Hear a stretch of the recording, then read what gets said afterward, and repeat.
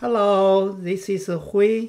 Welcome to watch my video C++ programming on Linux.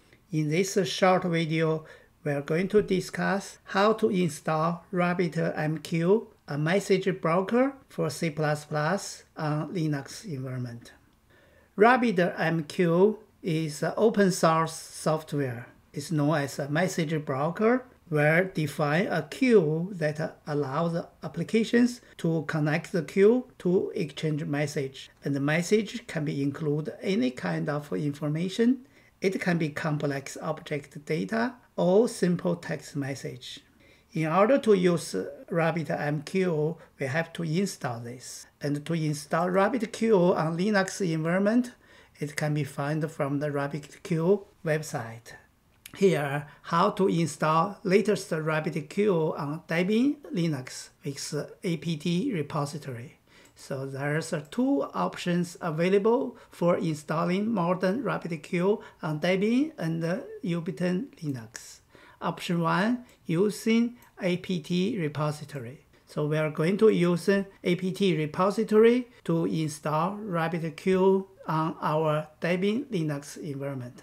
Here is our Debian Linux environment. To use apt, it has to be logged in as a super user. And uh, to install RabbitQ on Debian Linux, it's going to be three steps. First, using sudo apt update. So this command. Let's go to our super user, run this apt update. The second step is installing Erlang package, and this is command for installing Erlang package. So we try to run this.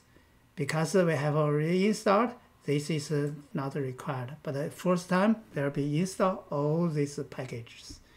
And the third step is to install RabbitMQ server. The command is using sudo apt-get install RabbitMQ server minus y minus minus fix missing. The fix missing option allow you to fix some missing package so we go to our super user. We just run this. So now we have installed RabbitMQ server on our Linux.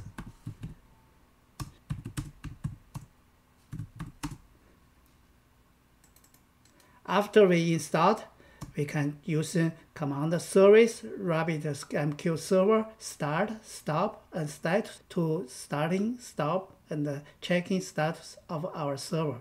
I just write a simple shell script. So we run this, we can get the option status. You can see our server is running. So we can stop this. So now the server stopped. We can check our status again. You can see our server is dead, inactive. So we restart again. Check status again can see we are running.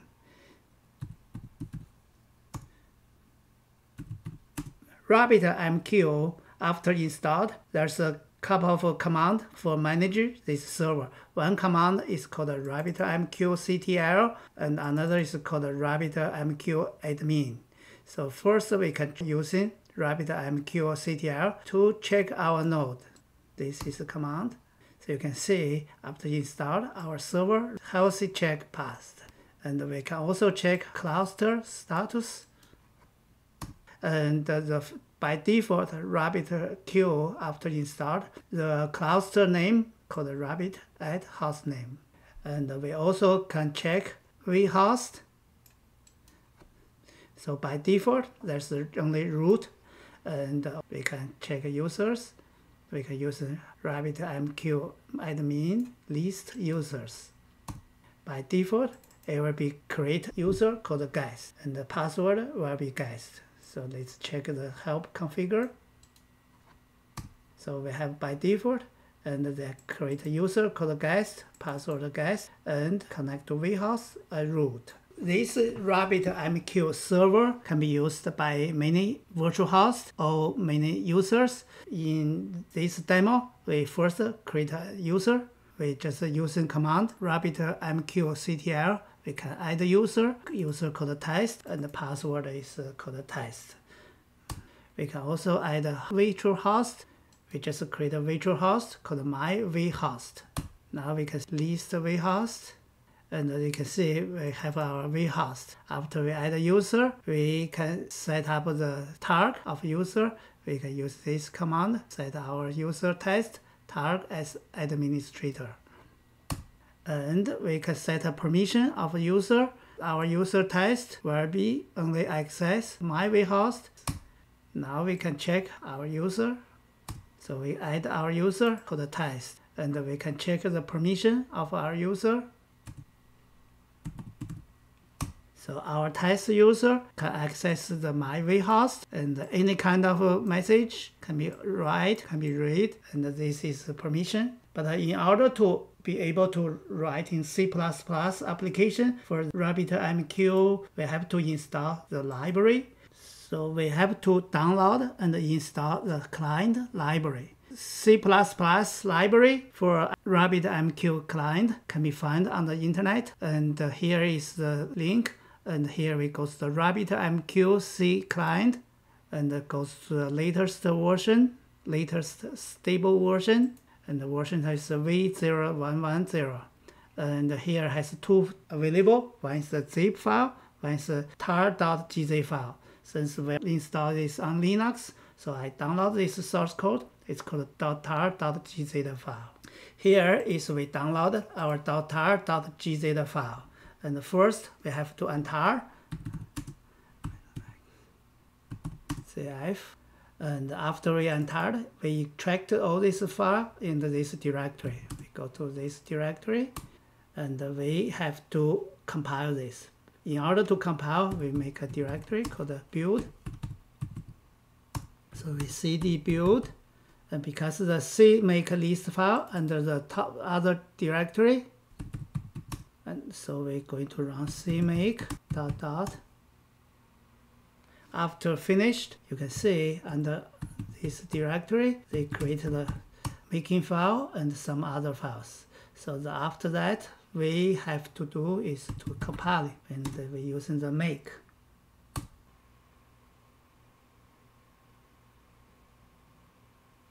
After successfully make, we have to go to the super user to the make install.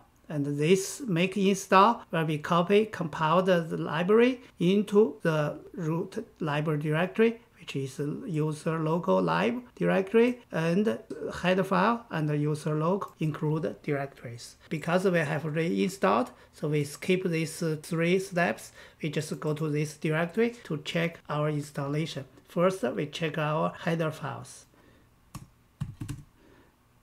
So you can see Oh, this is the header file we have been installed under this user local include directories and we go to the library directory. You can see we have installed RabbitMQ SO files. And we can check our file, we use LDD dependency of our library and everything looks great. After we install the C library, we have to install the C++ library called amqpcpp and here there's the instruction how to download and install this. So I just simply download and uh, extract the file. So we have a source code .cpp file. We have also the header file. Also have make files. So we just simply type make to compile this uh, package and we can generate two library. One is called libl amqp and it's .sa file. And after that, we have to go to super user, run the make install. This is a make file. If you have a special installation requirement, you can make an adjustment to this. So this special make install will be copy the library to library directories. So let's go to that directory. So library code is amqpcpp.so. Now we are ready to write uh, a RabbitMQ applications. So we created two programs. One is called mypublish.cpp and another called my underscore get.cpp. Here is my publish.cpp usage will be my publish and we have two parameters called exchange, second is queue. So we publish a message to this exchange and this queue. So what is the exchange and the queue? So Rabbit MQ exchange be found explanation here. So this is a standard message flow. First, producer publish message to an exchange. The exchange receive the message and responsible for routing the message. So we have to publish our message to the exchange. And then they building the app between the queue and the exchange. There's a key between the queue and the exchange to decide which message routing to which queue. It can be routing to one queue, can be routing to many queues. So the messages stay in the queue until it's handled by consumer. The exchange has a few types. Direct type, exchange, direct, send to queue, and we can also have a topic exchange like agreement, exchange to Q1, contract in the Q2, and invoice Q3, that's a topic. And also we can have the fanout exchange. This exchange, it means all the message will be sent to the, all the queues. In this short video, we are going to make a very simple example to publish a message sent to queue. So we create a name, exchange, and the queue name, which from argument 2. Because it's demo, we just hard coded. We created a user called test and the password test on the local host and the port number, and we created the vhost, is called my vhost. Here we have um, our test as user. We have our virtual host called my vhost, and we just using program create a queue, send a message to my vhost. And then what we do, first we have to create a change, which is give the name from command line. We call it EX. And because we got a message, we just send to every queue and we set up type of exchange and we create a queue, which queue name we get from the command line and we binding this uh, queue name to exchange with some key but in this case, we don't put any queue. Any message in this queue can have header information and body information. There's a two type of deliver model. One is persistent and another is no persistent. So we just using the persistent deliver model. And the type, we can set the content type is the text text. Encoding is using UTF-8. We can also set another feature in the message header and we make a loop. We get from the terminal the message body, which message we want to send, and then we publish the message to the queue that exchange where we created. We create an exchange here, we publish our message to exchange. So this is the publish. For the receiving, we got my gate.cpp. We did a hard coding for so test the test localhost port number 5672 and the my vhost and the queue which we got from a command line. We created the queue called my queue name and we declare the queue. Then we make a loop just using the queue get message method to get our message and our message can have the header content and the header encoding and we can have a message body. Finish all the message, get out.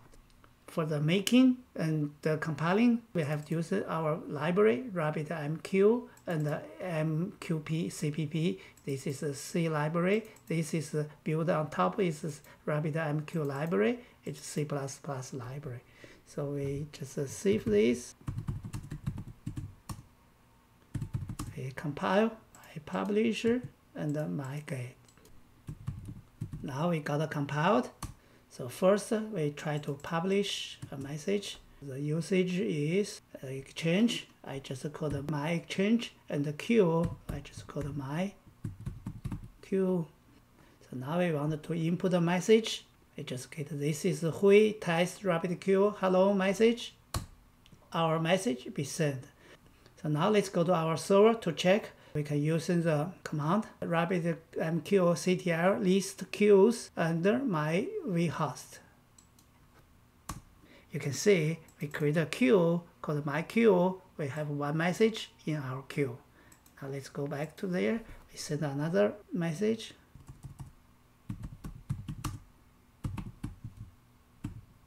This is Hui test rabbit queue hello world message. So now let's go back to our server to check our queue. You can see we have two messages in the, our queue. The messages stay in the queue until we consumer get that. So we're using the my get to read a message from the queue. The usage will be my get. The queue is called my queue. So you can see now we get a message. We got a message one. This is a Hui test RabbitQ message. This is a Hui test RabbitQ hello message. And the second message, this is a Hui test RabbitQ hello world message. So we got two message, send queue, we can read them. And then now we go to back to the super user, check our queue. You can see our message has been read from the queue. So this is very, very simple test. Install RabbitMQ server and how to write a C++ program to send and receive messages.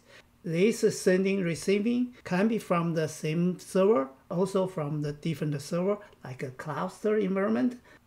Hello, this is Hui. Thanks to watch my video. Hopefully this is useful. It's going to be great to have your feedback.